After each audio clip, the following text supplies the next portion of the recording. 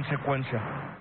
Y el presidente del PAN en el DF, Mauricio Tabe, y el diputado local Santiago Taboada dieron a conocer un reporte en el que señalaron a Hugh Tenorio, candidato del PRI, y el Partido Verde, el jefe delegacional de Benito Juárez, por un presunto tráfico de influencias para beneficiar económicamente a la Fundación Mídete, de la cual es presidente honorario.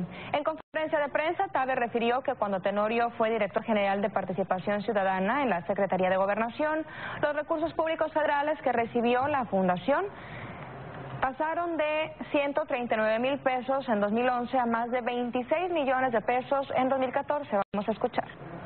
De una serie de documentos que acreditan un crecimiento inexplicable y exponencial de los recursos que ha recibido por parte del gobierno federal la Fundación Mídete, de la cual fundó e integra el candidato del PRI en Benito Juárez.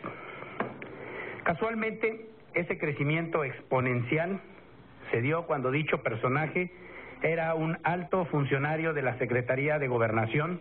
Una vez que el PRI llega al gobierno y él como funcionario, la fundación tuvo un crecimiento exponencial e inexplicable de 5.850%.